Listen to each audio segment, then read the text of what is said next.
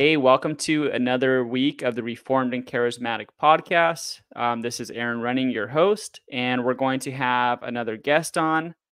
Um, I'm going to bring him in here. This is Jot Maxi, all the way from Paris, France, right? I'm down south, south of France. It's Toulouse, France. But yeah, yeah, I'm, I'm uh, from London, living in France. All right, right on. Well, thanks for coming on, man. I, I think just to get started, maybe let's uh, hear a little bit about yourself. Um, you said already you're in France. Um, are you from there? Um, or no, you said you're from London. yeah, I, I don't know many French people with an accent like mine, so yeah, yeah. Um, so yeah, my name is Jot. It's my real name. My mom gave me a crazy name. She named me after my great granddad's uh, nickname, so that's fun. Um, Maxi's my real second name as well. She got that off the side of the truck when she was crossing the road to name me.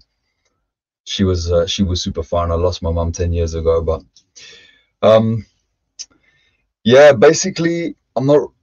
I wouldn't be a public figure at all if I could help it, but I've been doing music for a long time, and uh, I guess most notably, I joined a band, a rap metal band called Hacktivist, um, in 2017 and I was with them for seven years, seven and a half. I just left less than a year ago. I left that band, and um, um, shortly before that, in 2020, I found Christ out of, um, or he found me, however you want to say it, out of. Uh, I grew up Mormon LDS, so in the back of my head, I was always going to go back to that church one day, and it turned out that um, in going back to that church, I realized it wasn't wasn't the truth, and uh, so after finding Christ in 2020, I almost quit music because I was a very I was a front man of a rap metal band, and I was doing a lot. I was drinking a lot. I'd been drinking almost every day for about like 10 or 10 or more years actually, and um, a lot of drugs, a lot of ego. Um, so when suddenly my heart's been like softened in 2020, and we're in the middle of COVID, so I'm not touring current at that at that moment either. Um, I didn't know if I wanted to take the stage again. I was like, okay, that that ego fueled alcoholic person. I don't want to be that person again. I couldn't be that person again. I don't think if I tried, you know, um, maybe for a for a few hours, but I'm always heavily convicted. Like, wow, can never go back there again. So I almost quit music. I prayed about it. I was like, I will. I actually, it's a funny funny prayer. I said, I will be the the cleaner in the library with the most dustiest books in the furthest corner of your kingdom, God. Like, just I'm just happy to be a part of the truth. I'm happy to know that I'm coming home to God. I will do, you know, I'll give up all this kind of self-importance and ego and like frontman and music and like within that week my lyrics suddenly just started to be like gospel centric and quite like pointing to god. Um i was like oh wow. I just couldn't stop writing um lyrics about the new the new heart. In fact i'm currently writing an album called uh cor novum which is new heart in latin and uh, yeah, it's real fun. So it's not like rap metal anymore. I don't know what it is. It's electronic, experimental, rap, pop, Christian, dark wave, synth, 80s. So there's a lot of stuff in there, and it's just really fun to experiment with sounds and write lyrics that um, come from a place of it's not like worship, like worship music, like you'd find in in church. It's glorifying God through. I was thinking about this today. I guess it's a lot of victory and lament. So I talk a lot about challenges and like why and like ah and the the the troubles, and then victory moments of just like wow. Actually, I just released a song today called "Who Can Stand," and it's about um, it comes from the scripture Romans eight, like if God's with me, who can stand against me? and it's just a big like um banging chorus like who can stand against me? Threats empty whatever. So yeah that's me. Um kind of vocalist lyricist um musician glorifying god uh life change got a new heart and i'm writing about it making an album about it since since 2020 praise god man. And so are you doing like all the uh, producing yourself? Like because I, I when i looked up uh, hacktivist um I, I think you guys were part of a record label right? Like rise records which was um like a record label that i remember listening to some bands back in the day that they were on. Yeah man. So when i joined the band they were like um signed to a major rise records in in australia. The band's from london where i come from. Um uh, just outside london. But the, the label was in australia and they were like you've got two months to learn our 12 songs that we're touring. And um they were already pretty well known pretty big big deal in in the in the niche in the rap metal world. Um and yeah. So i used to produce to answer your question i used to make the music and now honestly there's so many people who do that well that's their like calling that um i leave that up to them. So i'll restructure and i'll add little bits to the the instrumentals i get sent. But no i um thankfully i have a little team of people who make really good music that i that i add the vocals to. Right on. Cool man. Yeah i was checking out some of your stuff um like that you post on your instagram and whatnot and pretty cool man. I, I, mean the lyrics for sure you know and so this is like your your first album since becoming a christian you said right? Yeah. Okay. i didn't really do any i didn't really do any solo stuff while i was with the band. Because it felt they didn't make me agree not to but it felt like if we were doing music we should be doing it for the for the group. Um so yeah this will be kind of like I'm working on a little EP, which is like um drill, drill rap, gospel drill. I found out gospel drill existed in 2021. It changed my life. I was like, wow. Um, yeah, because I love the drill beats, but I just thought all the lyrics and the kind of the the world that they they rap about was just very just horrible. And when I saw gospel drill, like these ex gangsters or um, or just guys that want to do the the music and the culture, but for for for God instead, I was like, wow. So I'm I was inspired to do an EP. Um, tracks from five times gravity, ten times, twenty times. I think I'll do a fifty and a hundred times gravity. And um, the the covers are like the the little capsule, you know, from Dragon Ball Z, where they train in in uh, high gravity. Yeah, I used to watch Dragon Ball Z. Well, Z. Yeah, man. I like the idea yeah. of like that kind of, and that's how it felt when I. The more I was opening up to God on like the first couple years, and still now, you know, still the first few years of my walk, Christ, like my life in Christ, just feels like the more you feel like you're you're getting to know Him, the more responsibility, the more of yourself you have to like kill. The the harder it gets. So it's like wow it's never going to be um there are moments of freedom and moments of joy and like clarity but it he's always making sure this life this mortal life is a is a real lesson.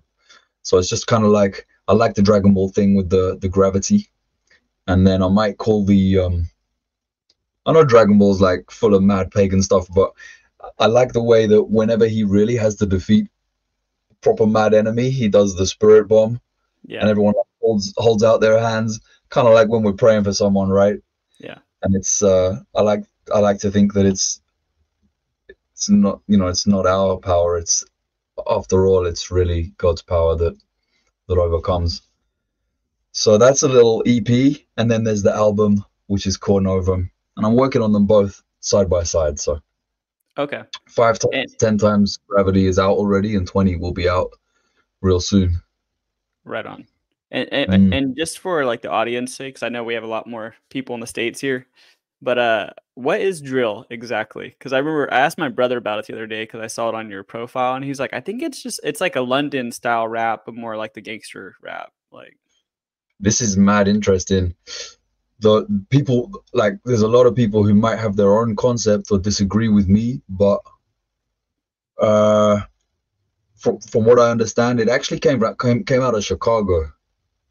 It actually came out of Chicago with uh, artists like I mean I don't need to say names.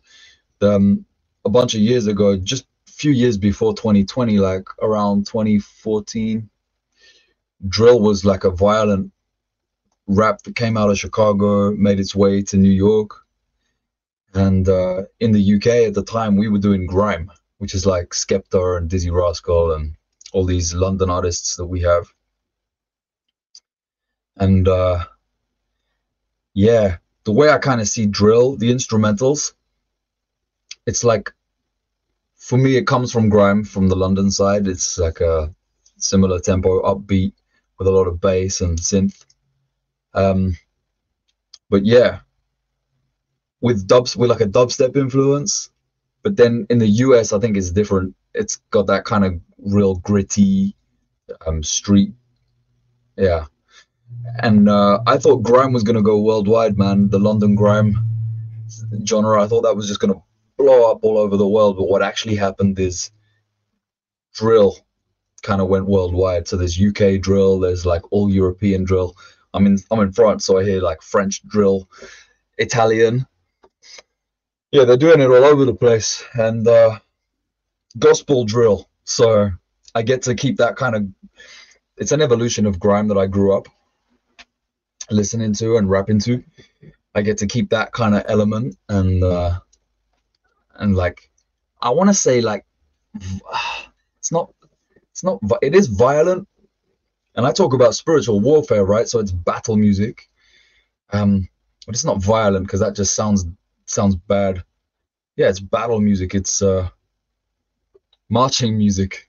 Yeah yeah. Yeah. Hey yeah so uh you know there's uh, there's a place for that, you know. Like I'm a the reason why like we got connected was through Victor Borba, you know, from the the metal band Reformed, and I love metal, and people would say that's like pretty aggressive too, you know. But you read some of the scripture, man, and it's it's pretty uh some of it's pretty gnarly, you know, like the way God describes, you know, some of the warfare or like some of the people's sins, you know, like it's very aggressive um, language, you know. Yeah. So Yeah, straight up. yeah, Um, yeah, I mean, a lot of people have a problem with the violence in the Bible. They're like, you know, why did God allow that and all this? But if you really analyze it, and if you think about the context of back in those days, there were like full nations of just pure evil, um, cannibal, just vile, like tribes and stuff. And when it was time to wipe them out to protect the the good people, that's just what they had to do. So, Hmm. yeah, um, I mean, I would never put that in the lyrics, like attacking anyone in the flesh. It's all very spiritual warfare. yeah, absolutely. But yeah, even that, the battle is all a part of it's a part of the walk. Absolutely. Yeah. Well, cool, man. Um, so I just want to like go back a little bit on your story. So you said you were in London and then you came from the LDS church. Like, were you raised in the LDS church as a kid? And then, Um, yeah, the the Mormon. I mean, you're not supposed to say Mormon anymore, right? But six years ago, it was their their whole advertising scheme was I'm a Mormon, so it doesn't really make any sense. Um, I'm gonna say Mormon because that's what most people know it as. Um, not wanting to offend anyone, of course.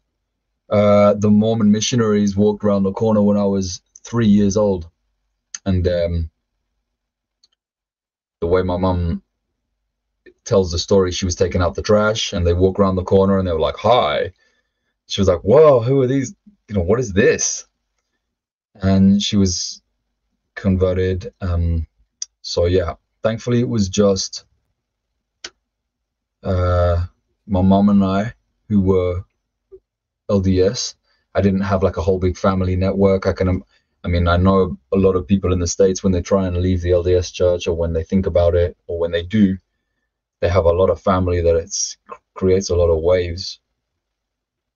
Um, my mom had already passed when it came time that I realized it was uh, a false gospel.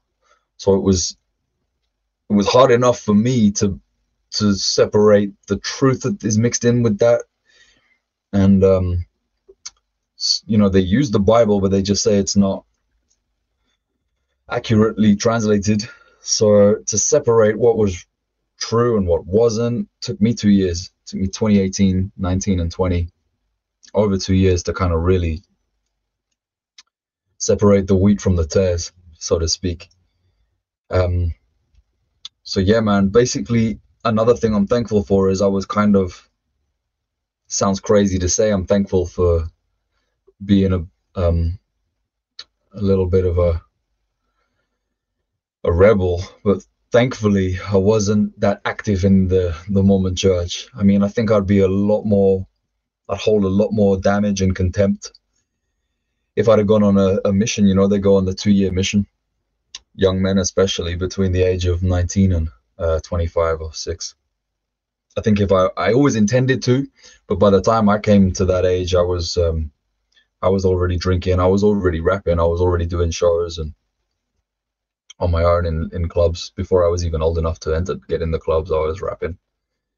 Um, MC and we say you know MC into drum and bass, more more EDM, more electronic music.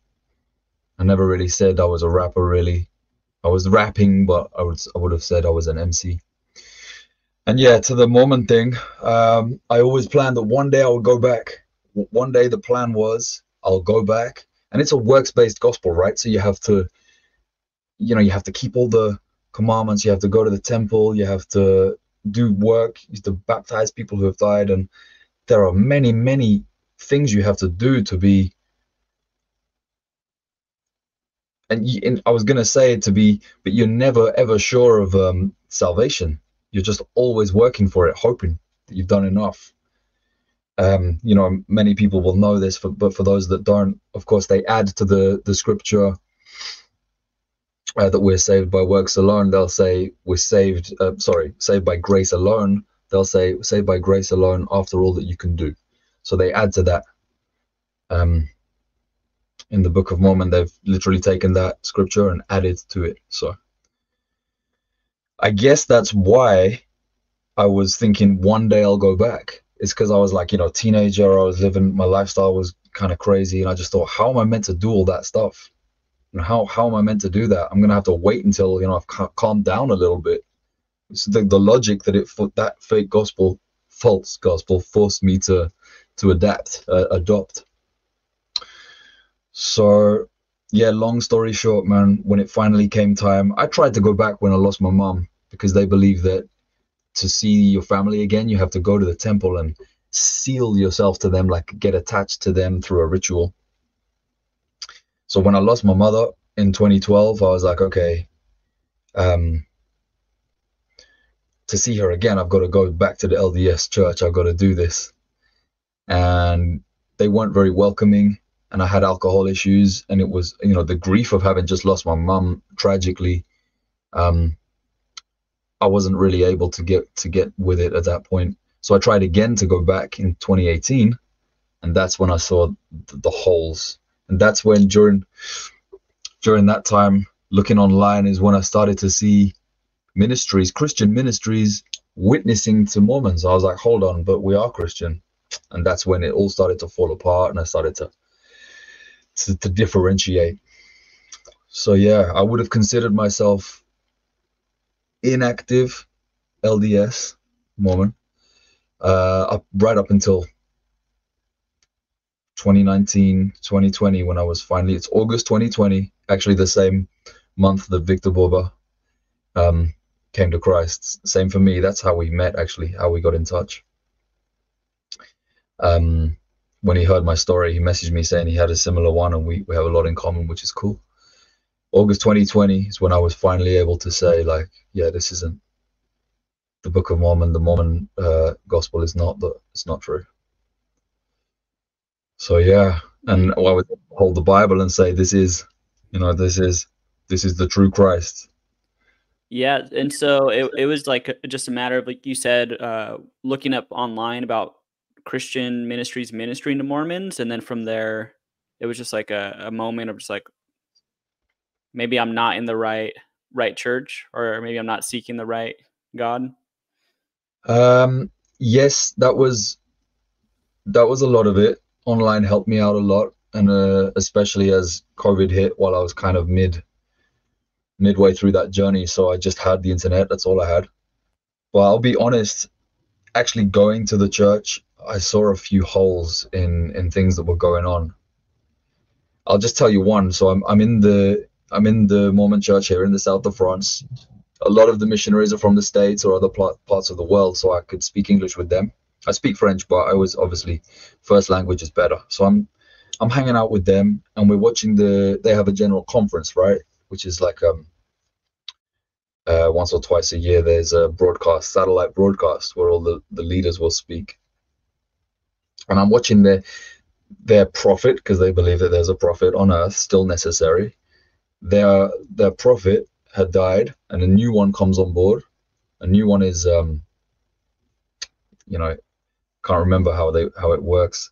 He's not elected. He's a yeah a, appointed, and he was talking about how his wife had died, and how he uh, now has a new wife, who he went to the Mormon temple to get sealed to. And something, I mean, I know it now to be the spirit, but back then I didn't know what was happening to me. Just this voice was like, hold on, that means that when he goes to the afterlife, when he's with in God's kingdom, uh, he's gonna have more than one wife up there because he's been sealed to two women. Instantly, something just rang out saying, "Get out of there! Just stand up and walk out." So I turned to the the missionary next to me and I was like, "Man, how does that work? Does that?"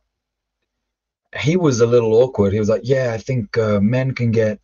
Remarried and resealed, but women can't. And again, his answer was even worse. I was like, what?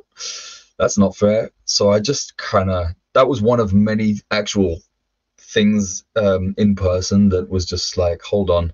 If this is God's real church on earth, and why does it seem so wrong? it's like, yeah. And then the internet did the rest for me. You know, I just, I researched and researched. After 26 years, so from the age of three to like 29, I'm believing in this. I would, I did not want to walk into another um, deception.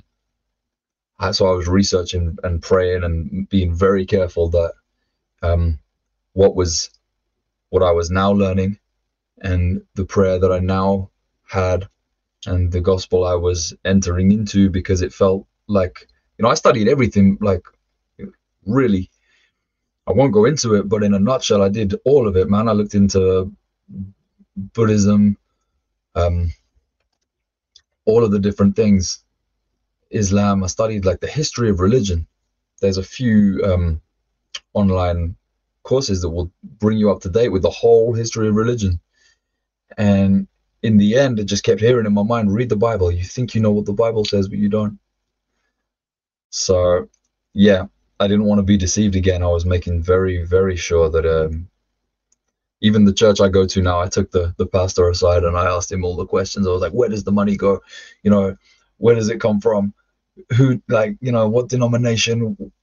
What's the weird stuff? Who's behind the curtain?" He was really patient with me and reassured me on on everything. And I'm still at that church now. I'm actually um, training to be an elder at our, at our, our local church, which is super fun and I'm um, one of the youth leaders with a new a new youth ministry. So it's really really cool. Dude, that's awesome, man. Yeah. yeah. yeah okay, so did did this did, did all of this like take place in London? This like conversion, and then how'd you like end up in France? Like, sorry, so yeah. Honestly, I was born in London, and my mom just moved me all over. I don't know how she did it because she never really had um, the same job. She was just job to job, looking after me. Uh, just knew a lot of people. and would just when someone lived in a different country or whatever, she'd just fly us out there for a for a long holiday. We'd stay with them a few months. So I have memories of growing up in like Dubai and uh, Cyprus and um, so no, I actually left the UK shortly after my mom passed. In I grew up in Ireland as well. I spent a long time, like ten years in Ireland. Um, our family's Irish. You know, my family name is McNamee. My full name is Jot Maxi McNamee. Um, so from Ireland to the to France, then back to the UK because my mom was sick, and then when she passed, I came back to France, and that was in 2015. So by the time I was looking to get back into the Mormon church and all the stuff I just told you about happened, I was already here in France. So that's what I was saying. Um, the missionaries come from the States or other places where I could speak English with them because it was actually here in, in the south of France that all this happened where I. Gotcha. Okay. I, right on. Right, right on. Yeah, man. And so um, I think like a big, um, I, I think a lot of the, like the like quitting the band um, because you said that's like one of the things that you're most known for. But so like breaking it to the fans, like, hey, I'm actually a Christian now, so you know I'm gonna be quitting the band, right? Like, yeah, it's mad because I knew I should leave the band. I knew for a year or maybe more, and uh, I just didn't want to. I didn't want to let go.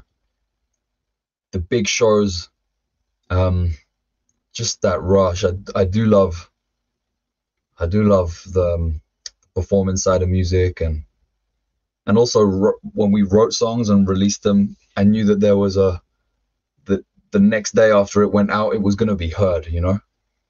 I knew I was writing songs for people to hear. I didn't know I liked that until it happened. Until I had that, I was like, I like this, you know. Um, and I'll admit, man, uh, didn't want to let go of that. I'd, I'd, I became used to it, and when it finally, you know, I I kind of had this feeling so long. I think it became obvious to the others. In the end, they just phoned me up. They were like, "Look, do you want to? You just want to leave?" I was like, "Yeah." At first, I was like, "No, no," and I was like, "Yeah, yeah, I think I need to." Um, were, were they willing to like accept you and keep you in the band even with your new conversion and like beliefs? Yeah. So like uh they knew straight up. I think they always knew that i had beliefs anyway because you know with the i never hid that i believed there was a god or whatever. And i always did know. You know i even even though it was the lds church i'd seen a lot of spiritual things happen. I had a Had witness of those things, and that's a whole nother subject where they come from when you're in a gospel that's not. Um, but I had seen spiritual things occur, and uh, they knew that. And then after between 2020 and 2020, when did I leave? 23. So I stayed for two and a half, just over two years, and uh, they were cool with that.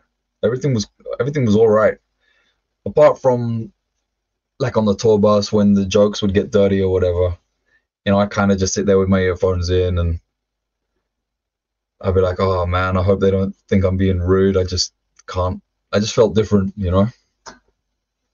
So um, they all everything was cool. In fact, the statement I wrote about why I left, it was about like six maybe little paragraphs long, and only three lines was about um, my faith. Only three lines was about Christianity. Um, and obviously, that's what everyone picked up on. Everyone was like, "Oh, it's because he found God." La la la la la. Whether or not they were supportive or not of that, metal fans can be quite harsh, to be honest. Um, and they're not so loyal. You know, they, if they don't like a song or they don't like something, they'll they'll say it. They're brutal. Um, so whether or not they were supportive of that, the Christianity thing is what it, what they picked up on.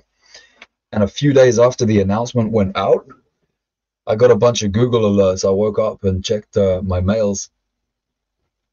There was like seven articles on different websites, and all the headlines I posted on Instagram because I, I still find it find it glorious. Actually, I didn't expect that, and all of the articles, the headline is just because he found Christianity, because of his faith. I was like, wow. I think maybe they thought they were having a dig at me, but it was actually just like, whoa. It really felt like God was saying, there you go. It's a crude comparison, but like, you know, how a, a homosexual will talk about coming out as gay. I just felt like, whoa, like that's it now. Like I make music for God now, and whether I wanted everyone to, you know, I, I I kept it to three lines of the statement, but boom, God was like, no, it's gonna be the headline. That's it. That's don't try and don't try and dodge the reason. It's you're doing this for me now. That's what I got from that. So when I saw all these headlines, I just laughed with joy. I was like, wow, that's mad. I expected, I think I expected to leave the band and just drop off. So it was funny that within a week, there were all these headlines. I was like, hold on, I left the band. Why am I? Yeah. I've dropped off now though. like, um, yeah, it's very humbling because um, I think so. For example, Spotify, they've got like somewhere around 50,000 monthly listeners. When they release a new song, it can jet up to 150 and I have 150,000. I'll be I'll be happy if I get 150 full stop with with my solo stuff. So it's very humbling, but it's also like the best I've ever felt about music because I listen to the songs and I love them. For the first time in doing music for 15 years, I'm listening to these songs and I like them. Like I love it. I think that's that's what's important, and I know that it doesn't go against.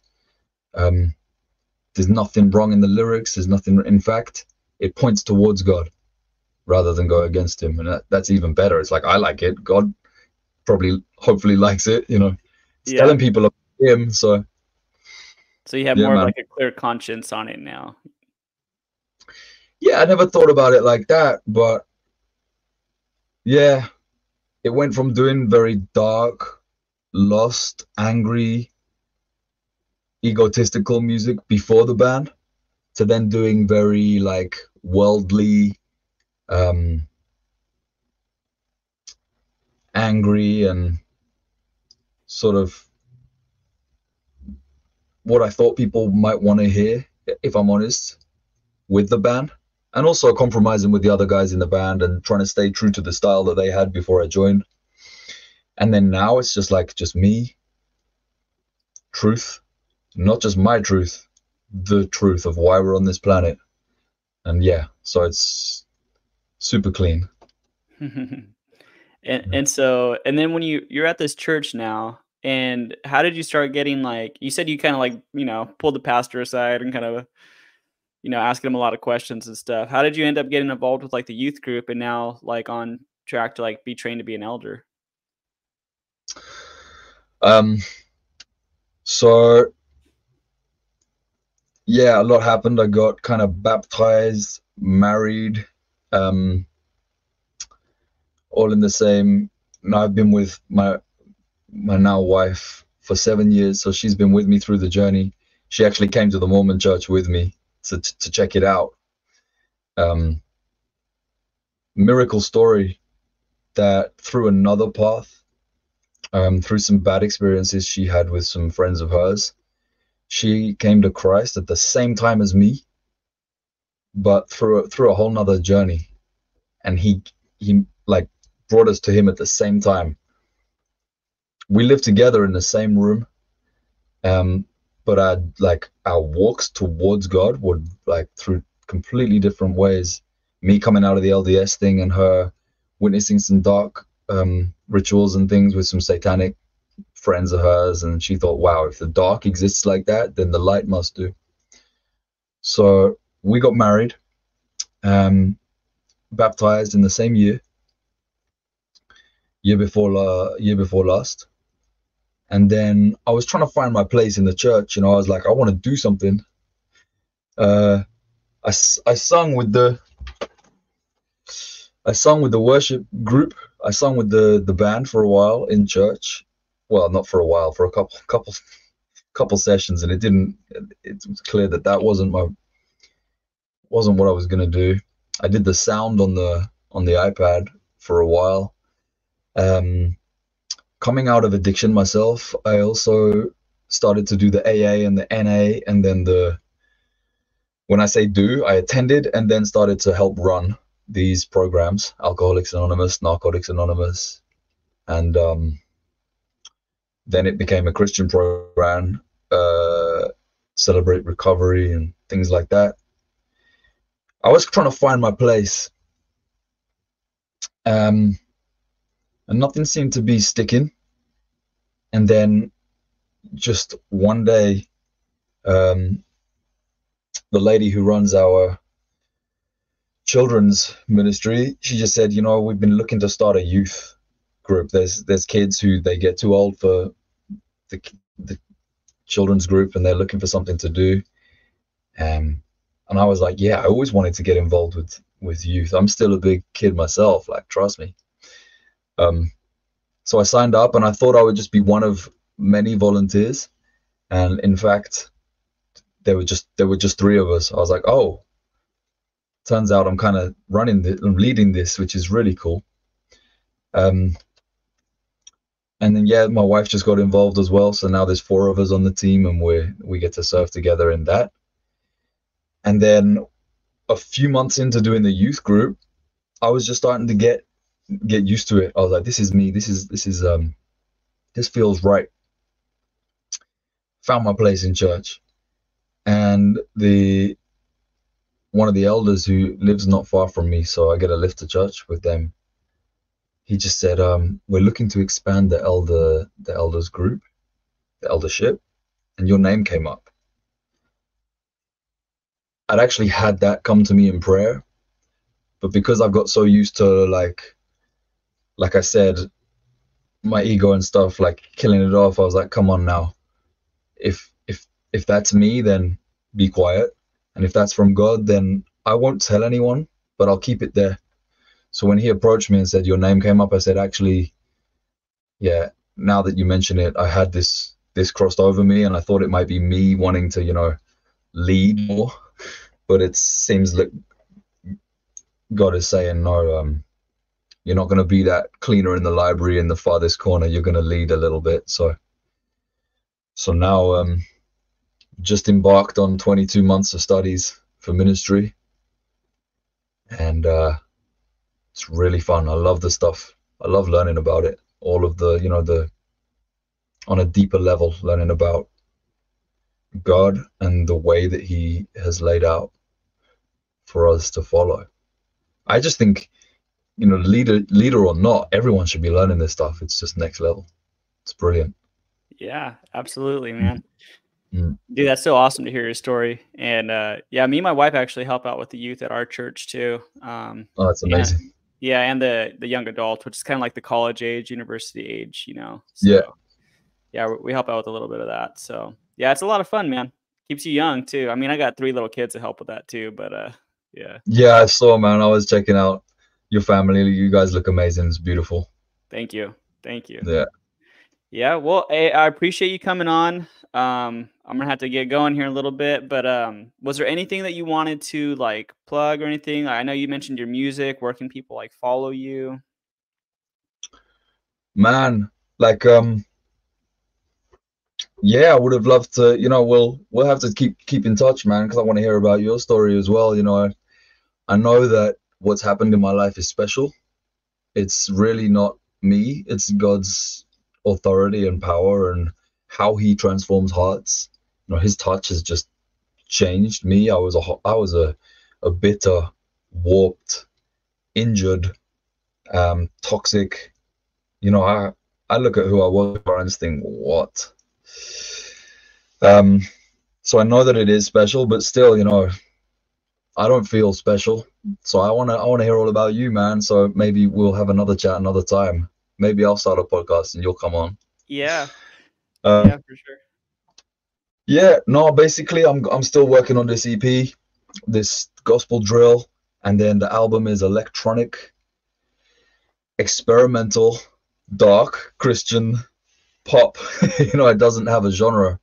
So if, if anyone wants to come and check that out, you know, I'm at Jot Maxi on all platforms, and uh, yeah, new new stuff all the time. I'm trying to get into voice work as well. So if anyone makes any animation or is doing any documentaries or anything they they need voiceovers for, I'm I'm looking to get into that stuff too. So or if anyone just wants to wants to talk or share, I'm um I'm really enjoying caregiving and learning about others and the Lord just keeps opening my heart and making me more and more empathetic and I'm always open to, to conversation and learning other people's paths and learning from from them.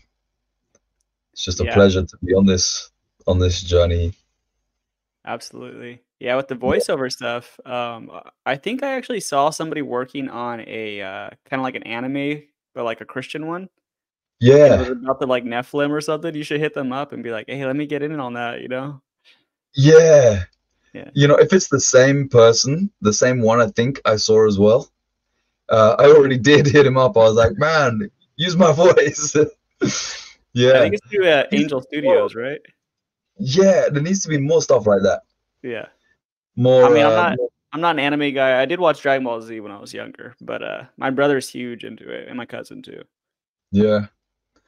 I don't know, anime or not. I just like all kinds of um, you can hear that in my music as well. All kind of um, science fiction, cyberpunk, kind of like alternate dimension kind of stuff. I like all that. So, but there should be more that follows uh, the truth. I don't want to say the the Christian, well, like just the truth. There should be more about like um, the heavens and God, and that would make for some really cool sci-fi and anime. Absolutely, yeah. Yeah. Cool, man. All right, I'll make sure to put your uh, your links in the uh, description and all that. And again, I appreciate you coming on, man. It was it was really cool connecting with you, and we'll definitely have to like catch up, and uh, I can share some of my story too. I actually have Straight a full up. episode of the podcast where I share my testimony, but I love to do it personally too. So yeah, I checked a few of the episodes, but I'll find that one, man. I'd really love to to know about that. Right on. Cool. Well, thanks for coming on. Have a good rest of the day. Well, it's like almost end of the day for you over there, huh? Yeah, it's still Still bright though, sunny. yeah. All right, man. God bless. All right, man. Respect. Thank you, brother.